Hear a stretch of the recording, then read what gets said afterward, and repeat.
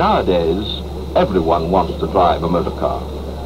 Already, there are over 9 million qualified drivers, and their number is growing every year.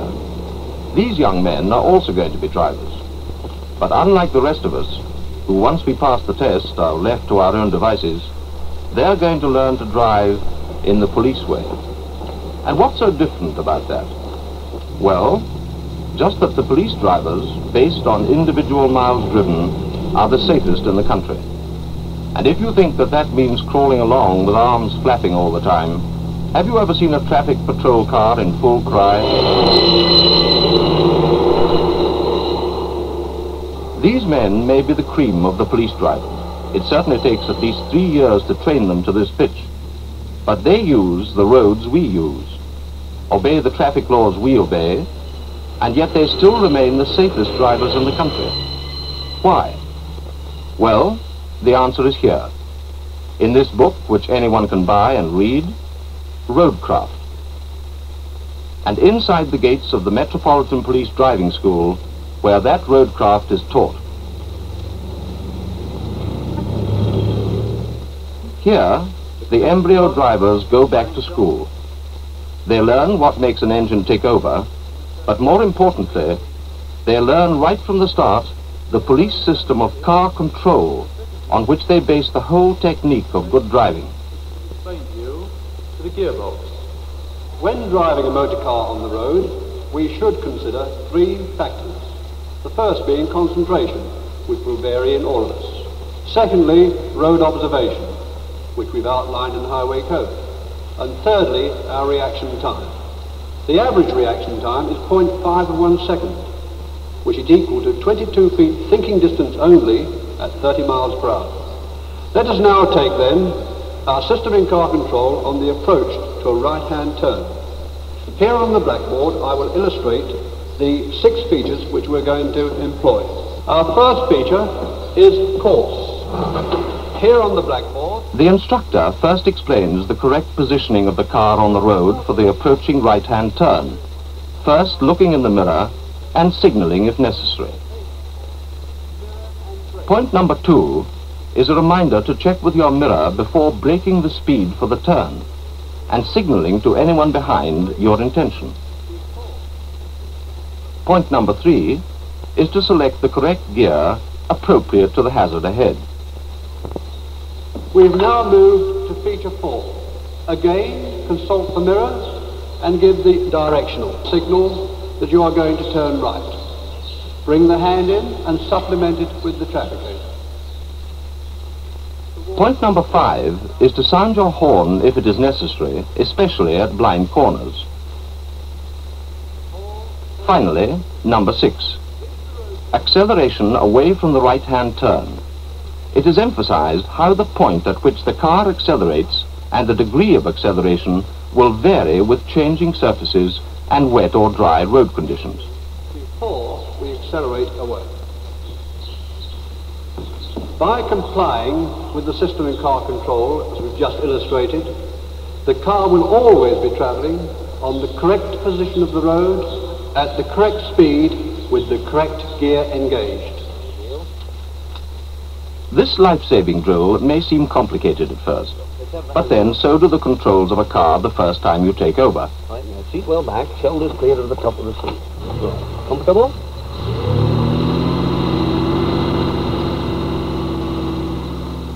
And yet, in a remarkably short time, the novice will be doing the lot systematically.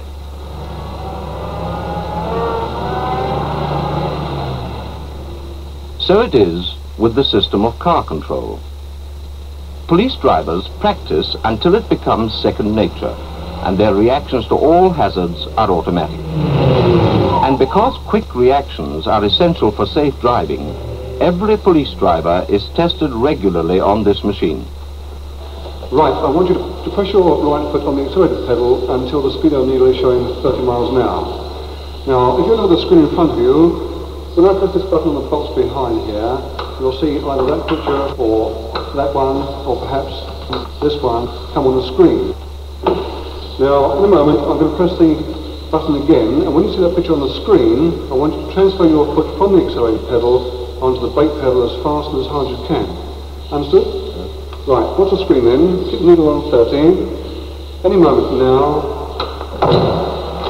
And your reaction time is 0.375 of a second. At 30 miles an hour is 16.5 feet. Your reaction time is your thinking distance. It means that at 30 miles an hour, your car will travel on an average 30 feet before you even touch the brake. And if you want to know what that means on the road, just look at this. A stream of cars nose to tail along the whole road. If that driver ahead stamps on his brakes, at 30 miles an hour, you will hit him before you can even touch yours. More than 6,300 accidents happen that way every year. So next time you join the race and crowd the driver ahead, remember your thinking distance, unless you want to go to hospital instead of home. Even more elementary, but just as important in its way, is a good driving position. No lolling around here with one arm on the window, but upright, alert, and comfortable. Mirrors carefully adjusted. Hands at 10 to 2 on the wheel, and the feet in the right position for the pedals. And that, if you pass a traffic patrol car, is how you will see the driver as he drives for hour after hour through the jungle of our roads. For unlike the rest of us, the police driver is never allowed to develop bad habits. If he did, he'd very soon be returned to former duties. Also, unlike the average driver who mugs up the highway code to pass his test and then more or less ignores it, the police drivers are taught to treat it as if it were the law of the road. In fact, Deputy Commander Radford, who has trained so many police drivers, puts it even more strongly. If you study the causes of road accidents, as we do, you will find that every single one could have been avoided if the highway code had been observed.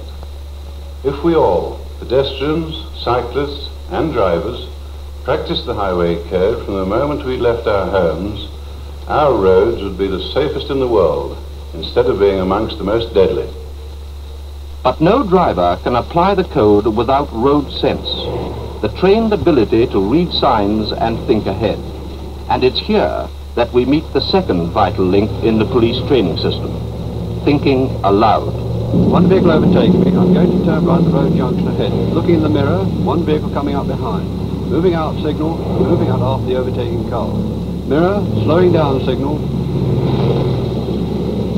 Breaking the speed down now. Into second gear. Directional signal the vehicles behind. Trafficator. Easing off for the vehicles approaching, particularly watching the vehicles on the right-hand side of the road. I can now get round quite safely and accelerate into the road junction. Building up the speed now, looking ahead, change of road surface. Every moment you're at the wheel, you have to make decisions. The more instinctive these reactions, the better driver you become. That is why car control and road observation are the keys to the police driving technique. And they work. For instance, here's what happens when a driver doesn't believe in thinking ahead.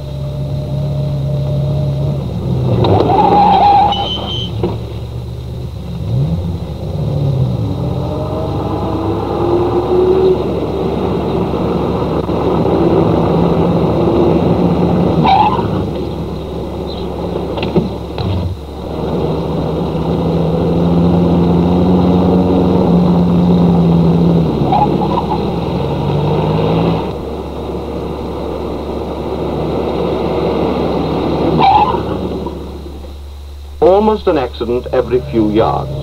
Suppose we count them. Inattentive driver. Over 12,000 accidents every year. Car pulling out from a curb. 2,300. Stopping suddenly. 6,300.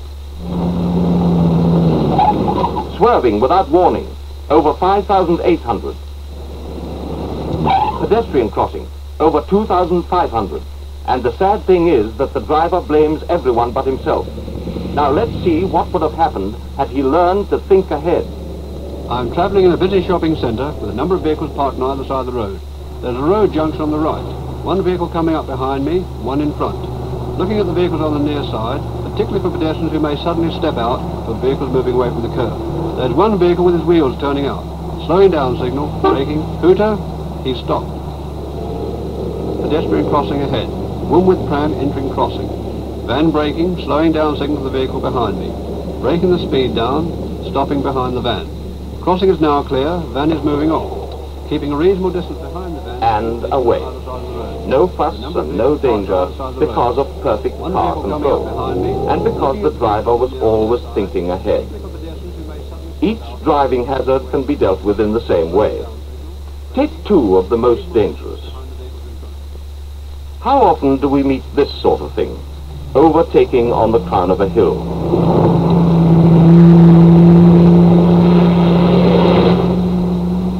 Or this, misjudging speed and distance.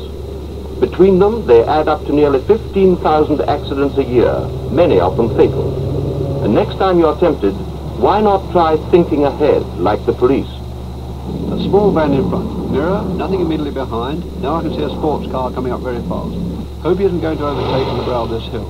Good man, he's tucking in behind me. Vehicles coming towards me on the brow. Now I'm too near to the brow to pass. I'll stay behind the vehicle in front. Holding back, judging speed and distance, waiting for the opportunity to go through and overtake. Into a lower gear.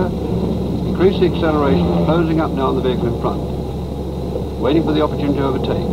I can see the road opening in front of me now. There's a good opportunity coming after the vehicle approaching, moving out signal and overtake immediately after this car. Pick up the acceleration now and overtake with firm acceleration. Ease off the accelerator, move into the near side and allow the sports car to pass. And remember, you will be safe on the road if you are always in the right place, traveling at the right speed, in the right gear, and are always thinking ahead as those drivers were.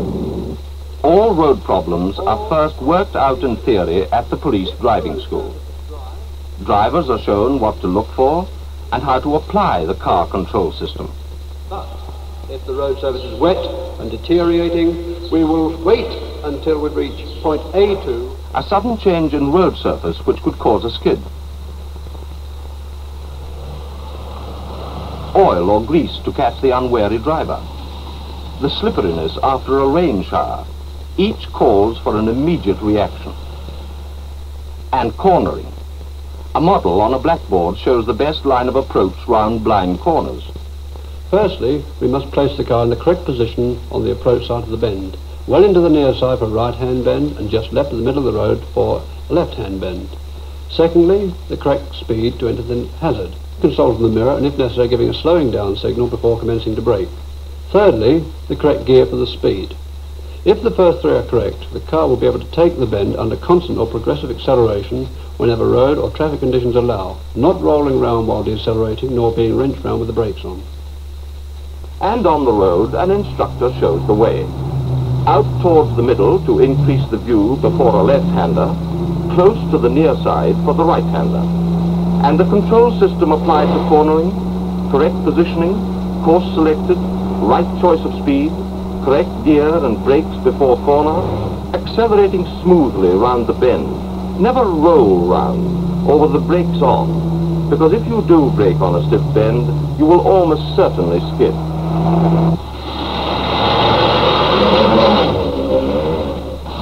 A basic cause of all skidding, which results in 11,500 accidents a year, is excessive speed.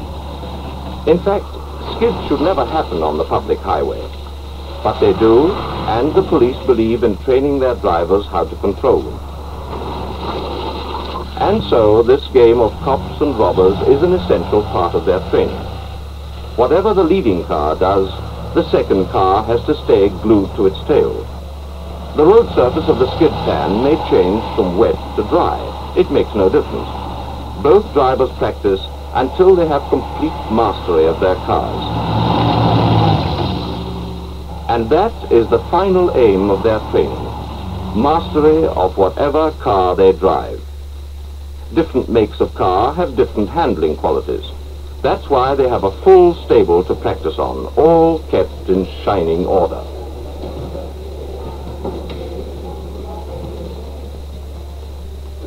And when they take to the road, they do so with the confidence that only thorough training can bring. The model of all this to the everyday driver, As head of the Metropolitan Police Traffic Department, Assistant Commissioner John Waldron has a word of advice for all of us. Every ordinary driver can learn something from the lessons brought out by this film. If our police drivers are safer on the road than most of you, it is because they're taught to think all the time of what they're doing. Many of you don't. You're thinking about your work, your wives, your shopping. You're often tired, angry, frustrated. And that's when things go wrong. Good driving calls for a clear head and complete concentration. Nothing else will do. Tragedy can come in a split second if you let your mind wander. This is what we try and drum into our own men. I hope that we have convinced you.